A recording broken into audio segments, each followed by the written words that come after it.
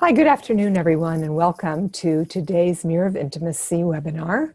Um, our topic is karma, and today is Monday, March 3rd, 2020. I think that's right. Yes, 2020. um, I'm Dr. Alexandra Katehakis, and I'm happy to have you join me here today. So I thought this was a particularly uh, interesting topic and a fun topic to sort of play around with. And we'll start with Wayne Dyer's uh, quote today, which is How people treat you is their karma, how you react is yours. And I'd like to pull that apart um, a little bit. So, how people treat you is their karma. Karma is a Sanskrit word for deed um, or action. And our deeds and our actions create reactions from others. And in some ways of thinking, we're bound to play those out um, throughout our lives. And it's also thought in some Hindu traditions and other traditions that believe in reincarnation. Um, that whatever we play out in a previous life that we don't clean up, we will play out again in this incarnation. Um, so, this can happen when you feel um, misunderstood by people or you're in an argument with somebody and you don't understand your own actions or intentions or even where they're coming from. And that's because we are led predominantly by our unconscious. And our unconscious can be intergenerationally encoded, meaning that those unconscious processes might have been set up in infancy, or they may have been set up in our grandparents or great grandparents. And these transmissions occur through um, what we call attunement. So when the mother is attuning to her infant or their father in early childhood, um, you've heard me talk about this before that if the mother is anxious or depressed, she's encoding that kind of anxiety and depression into the infant's burgeoning nervous system. And that encoding is an intergenerational transmission of trauma, essentially. So let's say um, you had a grandfather uh, that fought in World War II. And that person was traumatized, and that trauma led him to be very reactionary uh, with his children in a way where um, the mother was so, uh, as a little girl, was constantly nervous and constantly on edge and was biting her fingers all the time, or fingernails rather, maybe her fingers too. Um, and then she has a baby, and that baby is you. And even though your mother has worked really hard at being calmer, perhaps, um, or she married somebody who was calmer that helps her calm down, um, you may still be a nail biter and not have any understanding of why you do. And that's because these are unconscious processes intergenerationally that are playing out inside your own body. So we can ascribe that to karma, um, that the deeds and the actions of the grandfather live on in you. Um, and there is a saying, I think a biblical saying, that the sins of the father uh, live on in their children. Um, or we can think about it as what goes around comes around. Um, and that is sort of the second part of it that if you are anxious and you bite your nails, uh, then you perpetrate your anxiety on other people. Uh, you're maybe impatient with them or short with them or um, you avoid them, uh, what you're going to get back, reflected back to you, is impatience, shortness, people that don't really want to be around you. And so that's how the intergenerational transmission of trauma and karma sort of link together. Um, and in fact, Carl Jung said that if you don't really straighten out the unconscious, if you don't bring the unconscious to the conscious, to your conscious awareness, we can very easily label what happens to us in our lives as fate. Um, that this was just my fate, that I was always going to be um, in accidents, or I was always going to be misunderstood, or I was always going to be, um, you know, uh, sexually abused by people. And um, our fate can be shifted and changed when we start to understand that we are acting out these unconscious processes and um, we keep you know what we do unto others they end up doing to us. And oftentimes we're not practicing quote the golden rule we're practicing some bad rule that we learned um, as children. So, um, I just laid out a lot of ideas there. And I want to remind you that if you have questions or you want to chime in or add to these thoughts or conversation, to please do so uh, in the chat box and I will respond to them. So it's easy to get upset when life doesn't go our way. Um, but if life actually went the way of all of the spinning thoughts we have all day long and conflicting motives, we would really be a disaster. Um, so luckily, um, that sort of hamster wheel in our head of what's going on is something that we don't actually enact all the time. But karma is the cumulative impact of our actions that are being returned to us. So you can think about it sort of um, as a boomerang. Um, so this idea of what goes around comes around. Um, so what I do, or the way I talk to people, or the way I treat people, or the way I hold people in consciousness will come back to me. So if I'm loving and kind, people will be loving and kind to me. If I'm mean or short, or even worse, you know, manipulative or diabolical or cruel, then cruel things will happen to me. Um, so let's say you have someone uh, in your family, perhaps a stepmother, who is the um, sort of archetypical cruel stepmother. Uh, she does evil things to the children in the household, um, or she um, tries to split the adult kids from their father, um, and she's torturous to the grandchildren. But uh, the father doesn't know that any of that's going on. She's very sweet and saccharine on the surface, um, and sort of creates this um, image of being good and kind and loving, but backstage everyone knows that she's the wicked stepmother. And th- this is an evil archetype in our culture. And it does play out many, many times when um, people get divorced, oftentimes men, and they choose women that aren't well, that have borderline personality disorders or are histrionic or mentally ill in some ways and the men are duped for whatever reasons they need to be duped sometimes because of their own issues always because of their own issues i would say. Um, but there's a whole world going on with their kids that they're not privy to that they don't see or they don't get to know about. But their kids have to endure that to stay in relationship with the father. Um, and so that person who is so chronically evil and cruel and really um, sort of assaulting the family in emotional ways will get away for it sometimes for many, many years. But eventually it catches up to them. Eventually, when the father's no longer around, whether he they divorce or he passes away, something happens. Um, those kids no longer have reason to be in relationship with her. And she will suffer greatly because all of a sudden no one's speaking to her again. Or worse yet, she does something to break the law and she ends up humiliating herself or possibly getting arrested. Um, and in so doing, her karma has come back around to haunt her.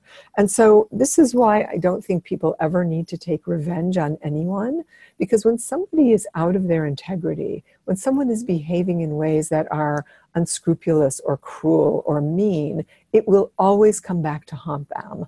Um, there's a saying that people have to pay the piper or the chickens come home to roost. Um, and so all you have to do is patiently sit back and watch and wait, and you will see that that person who is manipulative, cruel, um, vindictive will always get their just desserts.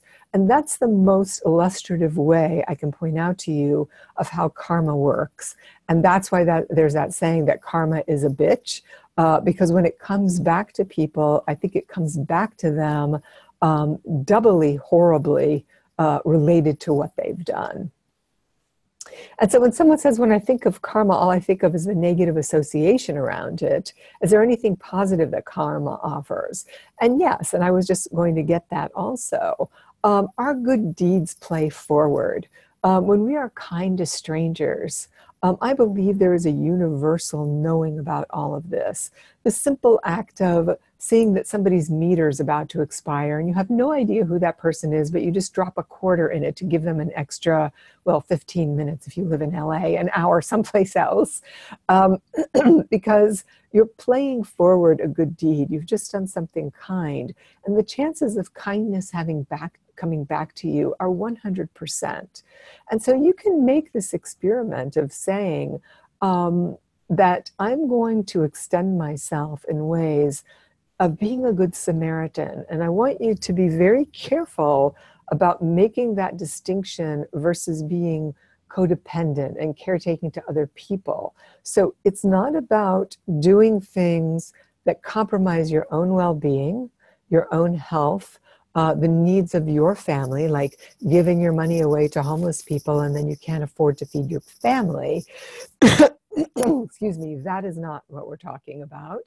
Um, I'm talking about um, simple things that you can do on a daily basis, even if it's extending a smile to a friend or a stranger on the street.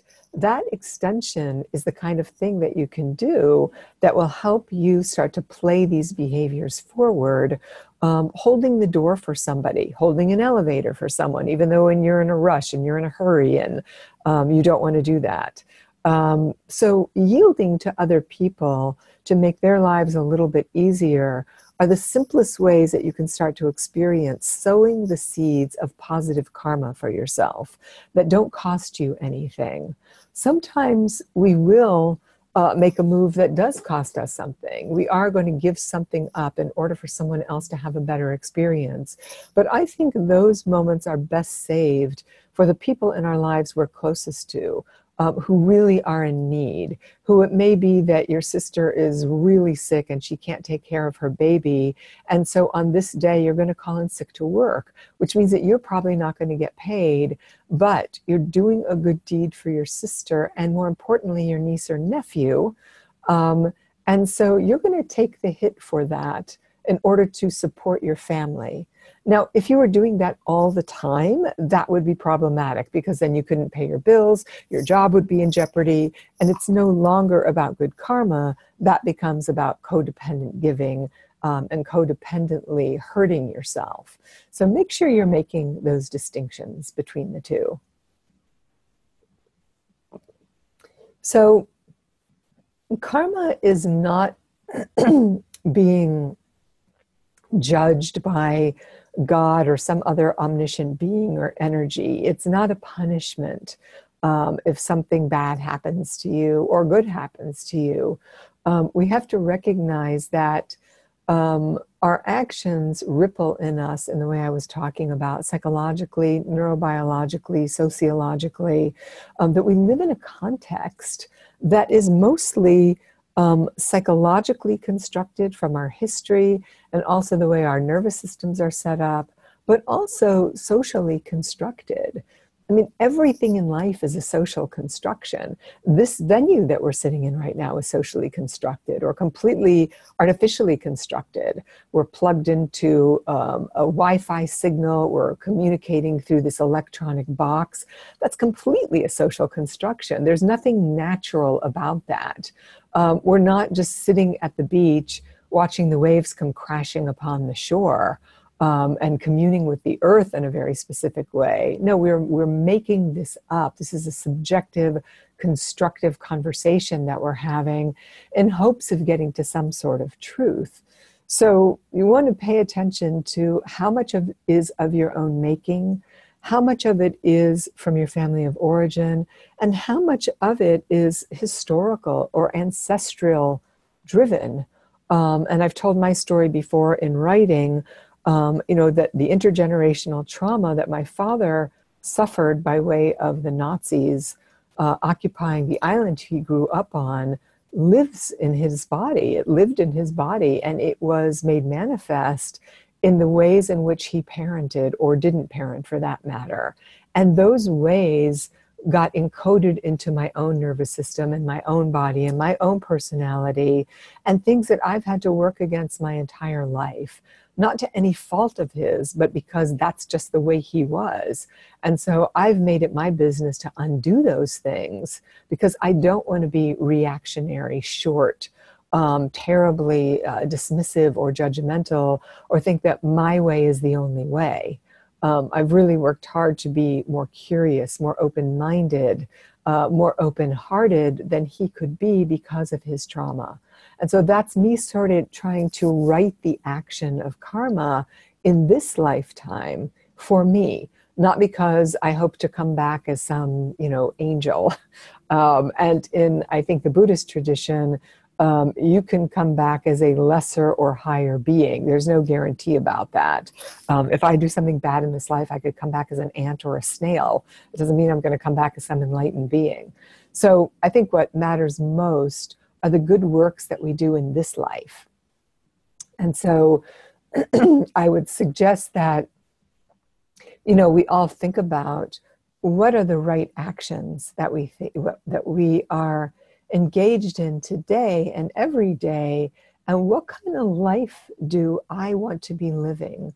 In what ways do I want to contribute to this national and international conversation we're having about what I think is the evolution of humanity. Well, I think it might be worth exploring um, what I just said about this these conversations, these conversations that webinars and podcasts are allowing us to have that we've never been able to have before, um, where we're able to pull apart concepts and ideas in very elastic ways by diving deep into these ideas um, that aren't uh, mitigated by constrictions or restrictions of television or radio, uh, but that I can just sit here and riff on a topic, and you're interested enough to sit there and listen and hopefully contribute back with your questions or your statements. Um, and as we do this, I think we're really struggling to invite an evolution of our human consciousness, which ultimately will change our karma. Um, so, uh, how does karma develop conscious human consciousness is what someone uh, asks um, and i think it develops it because if i am constantly I, w- I wish i could think of a concrete example or someone else could but i'll, give you an example that's kind of a horrific example but um, i was talking to somebody about uh, a client recently and this is not a new configuration of a person. This could be many, many young women, but a young woman who was 23, 24 years old, she was sexually molested repeatedly by a family member because typically that's how that happens. And by the time she was 18 or 19, she'd been raped. And I said, Oh, that is the absolute setup for someone who gets raped not once, but multiple times. Because when somebody is molested as a child, um, they have so many things happen in the brain and in the body where the brain disconnects from the body in order to survive something that horrific that that person is not walking around in a way that is present. She doesn't have um, self-awareness. She certainly doesn't have self-esteem or the ability internally to say no get away from me or i don't like that or you don't get to talk to me that way. She has no assertion because her no was stolen from her, little, literally raped out of her by that molestation. And so that leaves her unbelievably vulnerable to being raped, not once, twice, but over and over and over again, which is just horrific to think about, um, which is why someone like that needs a lot of support uh, in psychotherapy.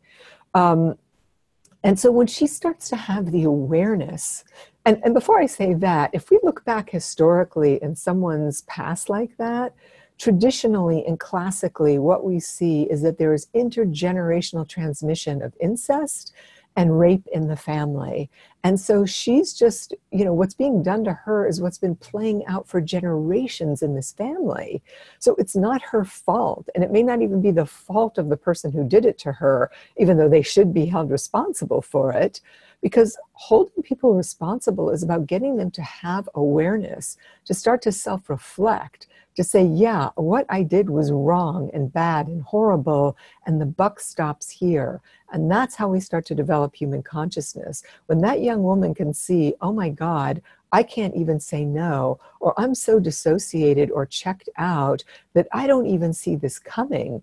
I should not date for a year. I shouldn't go out with anybody but my friends.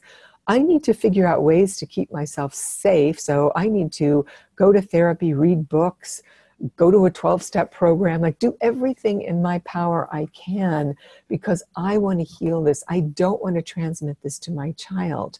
Because if that young woman marries and has a baby, she will marry a guy that treats her poorly and who likely has a history of abuse himself. And that perpetration of intergenerational trauma will just go on and on and on. And so when we heal ourselves in the present moment, we start to have consciousness. And when we do that, we intervene on that karma. And that is a high calling, I think, in this lifetime. That that is what we're here to do. We're here to heal ourselves. And when we heal, heal ourselves, we actually heal our ancestors because we're able to forgive them because they were living in a larger context too. They did the best they could, even though they may have been cruel. Um, or um, even the evil stepmother I was talking about, who is vicious and mean and gets her comeuppance, you can guarantee that that person was sexually abused or beat or emotionally abused in their childhood. Um, and so they had to endure a lot of heinous behavior for them to become so distorted. So we want to intervene on our own distortions. That's what we want to do. And to answer the question that someone writes is uh, Is there a way to speed up the karma? Well, you can speed up your healing. You can speed up this intervention um, by healing yourself. And when you heal yourself, um, Jung also said if you want to change the world, you start by changing yourself. Um, and that's the quickest path to doing it. So these corrective experiences will start to affect our karma. It will start to affect um, the cause and effect in our own lives. Um, so I, I, just remember seeing somebody in a parking garage once, and it was one of these small garages underground. It didn't have a lot of levels. I think there was only one level actually.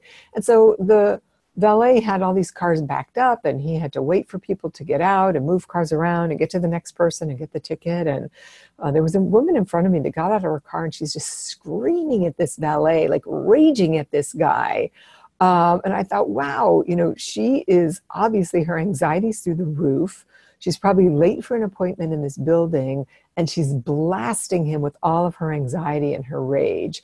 And this guy's sweating it in an underground parking garage. It's not his fault. The system, you could say the system just sucks. It's a bad system. Um, and all of us now are prey to it because we're waiting in line to get rid of our cars to go into this building.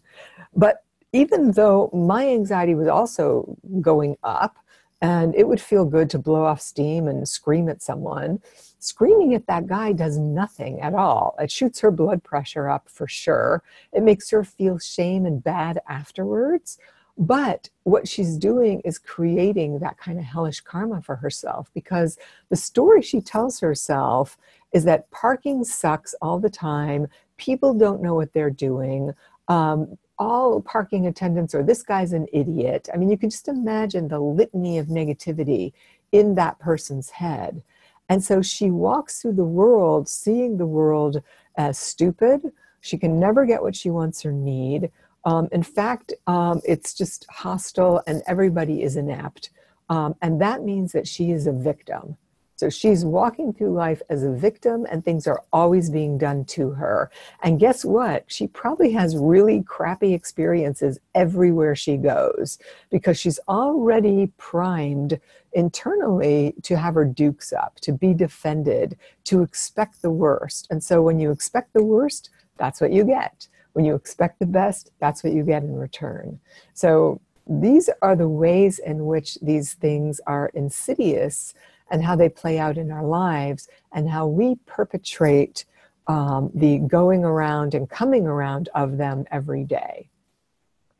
All right, so when we look at to, um, the daily healthy sex acts on March 11th for karma, and I don't want to confuse anybody who's listening, today is Monday, March um, 2nd. Sorry, I think I said it was the 3rd earlier, but it's not. It's March 2nd. Uh, today's topic is uh, March 2nd topic is magic, but today is uh, we're talking about karma. Um, the first step is to examine your actions. What actions have I taken today uh, that have been helpful? What actions do I want to take that would probably create duress for someone else? Um, and I'll tell you, the funniest and dumbest thing I can think of that happens every day is getting on the elevator to come up to the third floor of my office if I'm in a hurry, um, I really want to push that button that makes the door close because I don't want anybody to stop on the second floor because I'm in a hurry. Um, and when I hear footsteps coming through the lobby, I'm always felt met with that question of do I push the close button or do I take a deep breath and wait? Because really, is two seconds going to make a difference in my lateness? And does it make a difference in that other person not being late for their appointment or whatever they happen to be doing in that building? So that's one place where I'm constantly shuttling back and forth with the best in me and the worst in me and saying, okay, what do I do now? Um, another place is always sort of the infernal shopping cart at the grocery store. Am I going to just leave it in front of my car and go, or am I going to walk it back to where it belongs? Um, and this is an ongoing, you know, way that I'm checking in with my own integrity all the time too, because I've mentioned the shopping cart thing before. So pay attention to your own actions, and if you can, list five actions today, um, and the energy and intentions that you gave them. Um, was that energy, were you screaming at the parking attendant? Um, or did you have a different experience with that? And were your actions, energies, and intentions aligned? Um, did you feel like you uh, did the right thing? Or did you do the right thing in the face of being angry? Like maybe you are enraged at the parking attendant, but you notice it. And so your action is to take a deep breath um, and to do your best to be at least polite when you get out of your car. And that would be a great example of how you're working with these internal processes yourself. Um, and realize that energy and intentions count as karmic actions. So if you're smiling at someone and you really want to are flipping them off at the same time, that doesn't count um, or you're smiling at them and you're really enraged at them or you don't like them, th- people will know because that smile is fake on your face. And then there's another question uh, karma's always scared me. I'm currently in recovery and I feel so terrible about all the shameful, hurtful things that I've put my wife and family through. I'm working on healing and recovery now, but still feel uneasy about everything that has happened in the past. I want to work on myself and become a better person and create good karma. Well, I love that you asked that question. That's a beautiful question. And I don't want this to become some sort of woo woo hocus pocus thing that, you know, karma's going to get you, because I think that might have even been a Beatles song about instant karma. Uh, because I do think we can repair the wrongs that we've done. Um, I do believe in restitution in this life, and I think people that have created, you know, engaged in criminal acts um, that make amends, um, even that go to prison, can come out and be good citizens. Um, and so your amends are going to be really crucial for you to clean up the way that you've hurt your family through your addiction. Um, and that, of course, is an eighth and ninth step process. Um, and so that can be the way that you are living today because as i've said before and this is true you know in the program as well that amends are not apologies they're living breathing day-to-day acts what are your behaviors today how are you showing up today what are the places that you can give service um, back to or even make donations or contributions to organizations that can help some of the people that you perpetrated on. So there are many, many ways to um, say, I'm sorry. Um, that I was wrong and I want this world to be a better place. So I'm going to take actions to exemplify being a better human being. And I think that is a perfectly fine way to clean up the past, to clean up your karma going forward, um, and to make restitution uh, to the people in your lives. All right, so here's a clarification to the previous question. Um, if I've been abused and attract abusive people, is confronting abusers a part of creating new karma?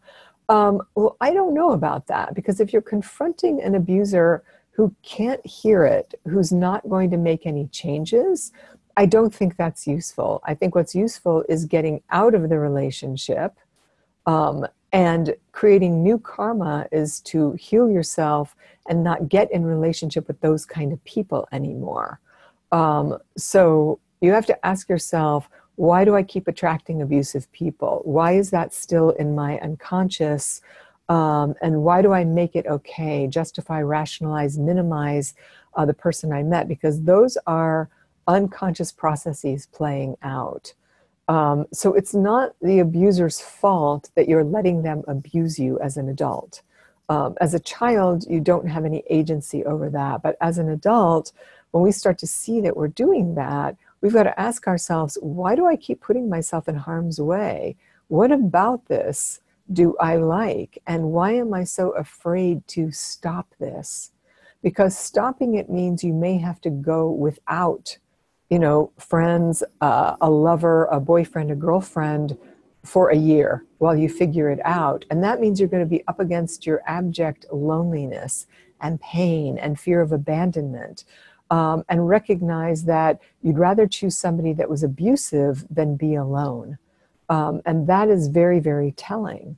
So if you were to give up the pattern of abuse, that means you've got to give it up across the board. You have to stop interacting uh, with people because you're clearly not choosing people that can take care of your heart. They're hurting you, um, and so it's not worth abu- It's not worth confronting people who cannot change, who aren't interested in changing, who don't know what you're talking about. Um, it's only worth confronting people in our lives um, that we know can respond contingently, who can hear us, who can say, you know what, you're actually right about that um, I was short with you, and I'm sorry about that. And I have a tendency to be short with you because um, sometimes I feel like you are taking too long and getting to the point, and it's annoying to me, and that's my issue. So there's a back and forth. And then the other person might say, Well, you know what? I do, you know, repeat things oftentimes because I'm trying to get my thoughts clear. Um, and other people have told me that's annoying. So now we're in a dialogue about who we are, and there's no real answer to that. It's just a dialogue about who we are and how can we um, be kind enough to each other and give each other some space to um, say, okay, I know that that's how my friend is. My girlfriend tends to repeat herself, and I tend to get impatient with her, but I'm going to take a deep breath and let her repeat herself a couple times this time. Um, and she's going to pay attention to not, you know, telling me over and over again how much she doesn't like this person. Um, and we're going to work this through.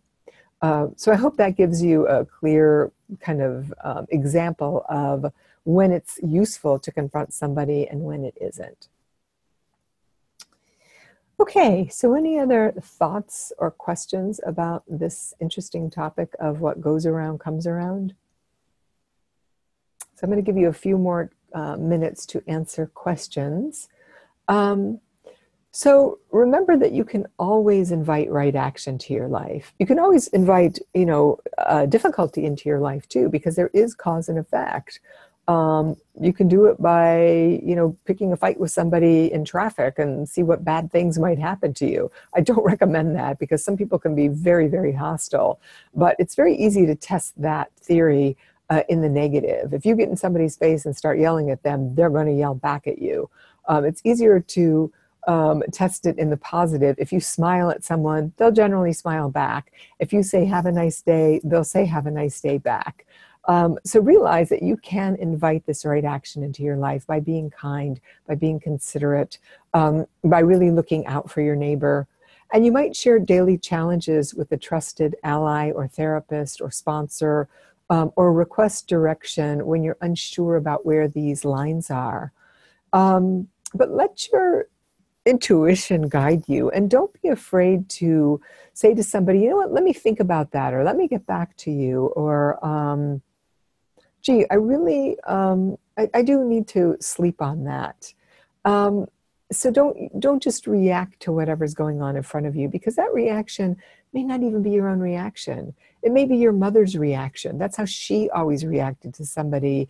And you find yourself reacting in the same way and pushing people away and you're like oh my god i'm just like my mother and i want to stop doing that. So give yourself some space to say i'm going to watch my reactivity. I'm going to breathe. I'm going to say to people let me think about that. Let me get back to you um, so someone says, How do we clear up now a very hostile ex during a narcissistic divorce?